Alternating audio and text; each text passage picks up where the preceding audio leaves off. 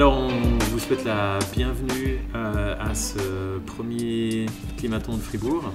On se réjouit de pouvoir passer euh, les 24 heures à venir avec, euh, avec vous pour développer des nouvelles solutions pour, pour le climat. Bah, pour ce premier climaton, on a beaucoup axé sur la mobilité. Ensuite, le deuxième défi va plus vers l'électromobilité. Et pour le troisième défi, là on est plus sur la consommation, consommation responsable. Et là on a, on a énormément de possibilités euh, pour les équipes en fait de, créer des solutions.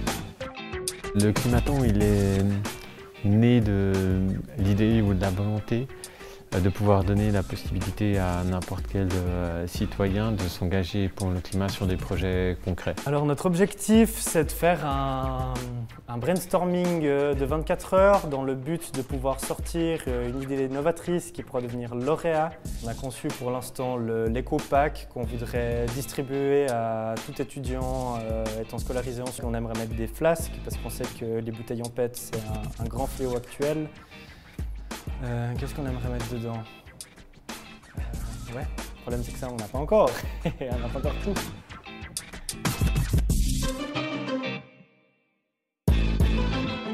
Alors il est 10h15 du soir. Euh, les équipes ont bien travaillé, elles ont continué encore euh, pendant un moment. nous, on attend encore 23h, 23h30 où on aura une dernière activité ensemble.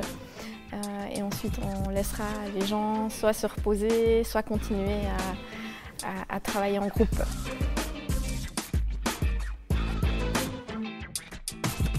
Alors, ben, après une courte nuit, euh, la, plupart des gens ont été dormir entre, euh, entre 2h30 du matin et 6h. C'est le moment ben, de rebooster tout le monde, de prendre son petit déjeuner, son café, son thé. Et ensuite, on va repartir donc, pour le dernier sprint final. Alors, j'ai mis le réveil à 6h45, ou plutôt le réveil a sonné, j'ai dit 6h45, non, à 5h45. Parce qu'à 6h, on avait une petite séance de yoga pour nous réveiller, mais euh, je me suis rendormie juste après. Maintenant, pendant la phase vraiment d'idéation, donc euh, ça passe par plusieurs étapes. On sent à des moments, euh, les équipes, elles sont vraiment au taquet. Je ne pensais pas hein, que ça passerait aussi vite que ça. Et je pense que pour les équipes, c'est la même chose, parce que ben, une fois qu'on a une idée, on a envie qu'elle soit meilleure, on a envie de perfectionner. Et je pense que même 24 heures, c'est pas, pas suffisant, qu'il faut vraiment profiter de chaque minute finalement de cette expérience.